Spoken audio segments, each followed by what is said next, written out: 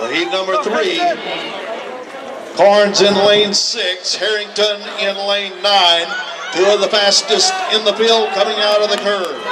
Brissett, Green, Carnes, Wilson, and Johnson coming on quick for Iowa. James Harrington, and Harrington in lane nine wins it for Iowa. 2072. 2094 for Carnes.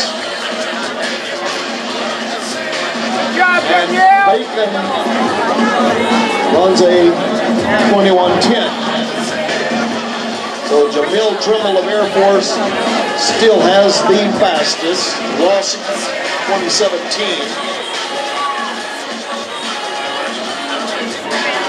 2012 for Bill Trumbull. 2012 loss in 2017, Collins 2056. So it's going to take somewhere in heat number